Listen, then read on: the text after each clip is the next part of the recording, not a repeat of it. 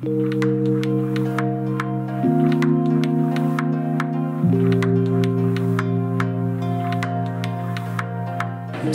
today is a bowl, and we're really trying to concentrate on those interiors because that curve is important for function.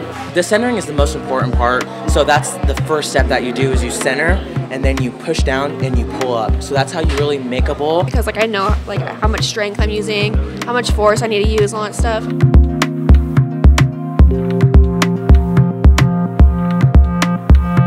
Specifically with finishing and trying to create a form that's a little bit more specific to maybe a type of soup that they're going to plan to serve later on. Other people like to put um, spirals or anything to really make it like how he was saying like a present. So when like someone's done with their food, they'll see a spiral at the end of the bowl. It's a lot better. Like imperfections are really they really stand out and make it make it look like its own. You know. He taught me how to like kind of work with the clay more and how to like really capture what you're trying to do in your art.